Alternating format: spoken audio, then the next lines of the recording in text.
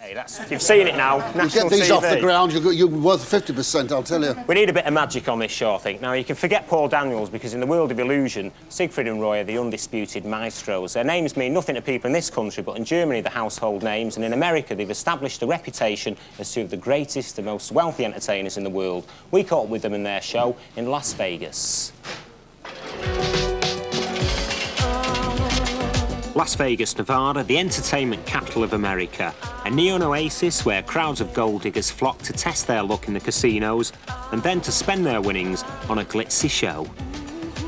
Well, Frank Sinatra and Liza Minnelli are no longer the main attractions on the strip because the biggest stars that outsell them all are Siegfried and Roy. We are entertainers first. We are uh, wonder workers. We are illusionists, uh, fantasists.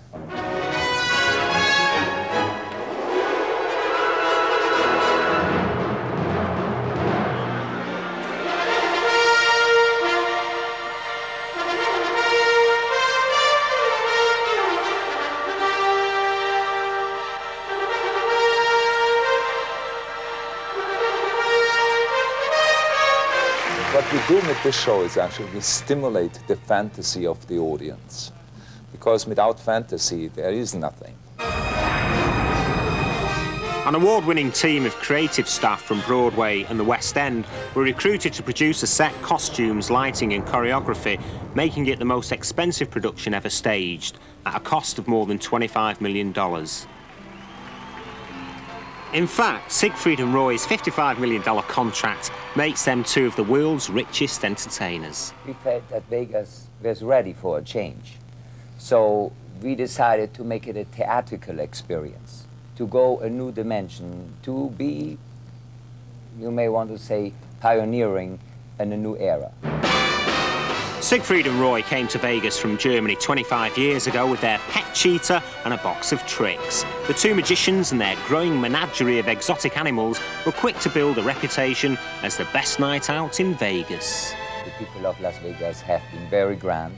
They accepted us for our ideas and for our beliefs, and they gave us all the help we could. And of course, in America, it is. They give you a chance, but you have to keep your promise. Products of the American dream, Siegfried and Roy have become part of America's own aristocracy, courting the friendship of some of the biggest names in show business.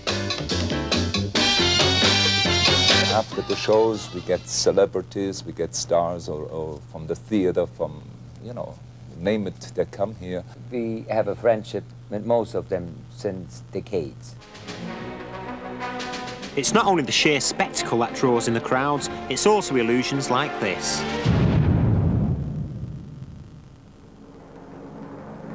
Ooh, she looks a bit compressed.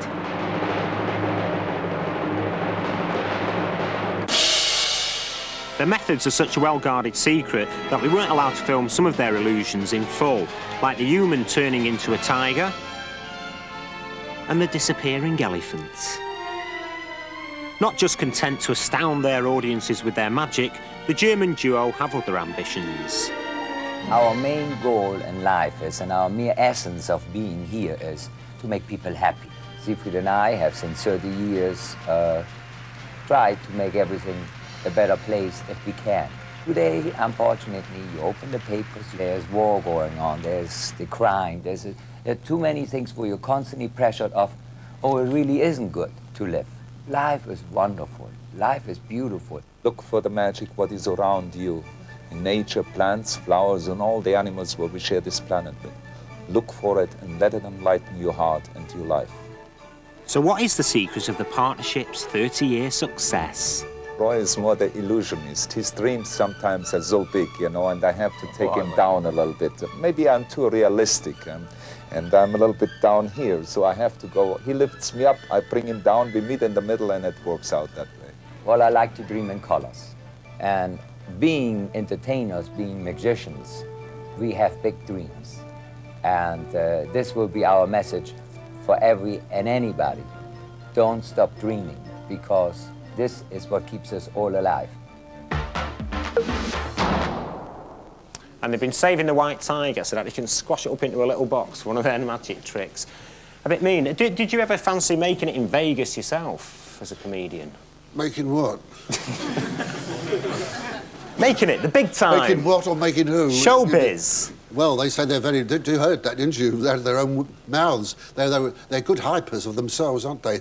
Not exactly what you might call shy, are they? In fact, one of them was the, the blonde one this side was going.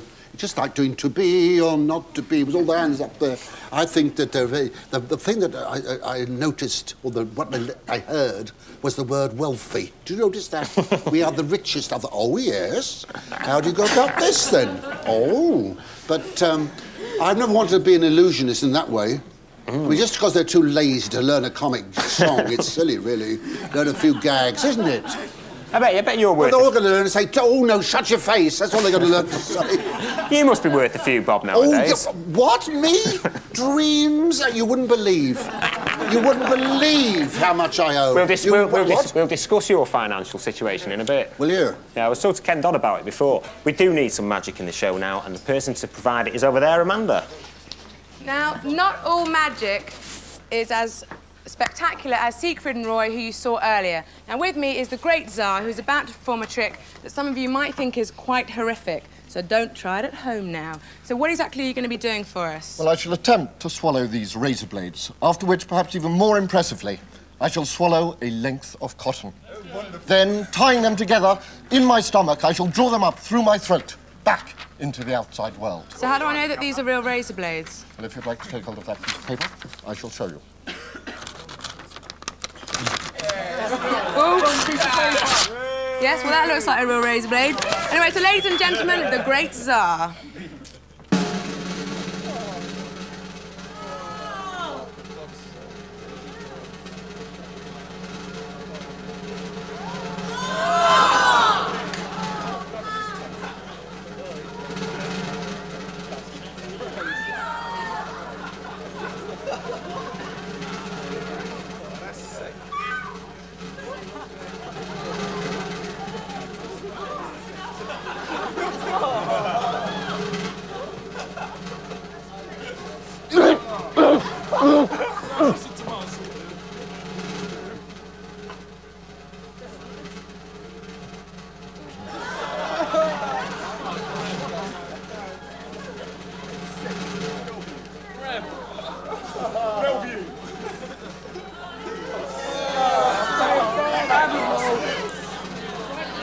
Queen.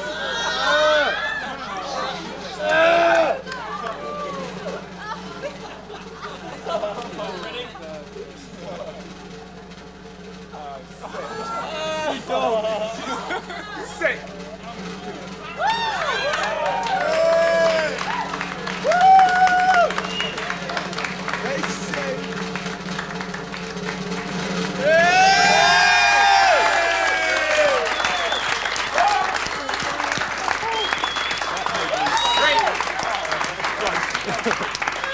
And I liked it so much, I bought the company. Last time I mess around with razor blades, it's that time of the week, uh, once again, we cast a critical...